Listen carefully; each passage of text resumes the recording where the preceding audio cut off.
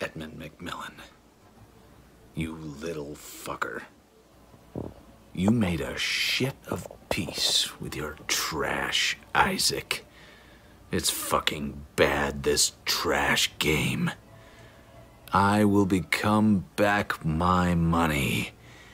I hope you will in your next time a cow on a trash farm, you sucker.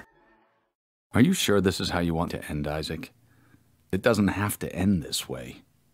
Here, how about we tell it a different way? Okay, Daddy. Good. So,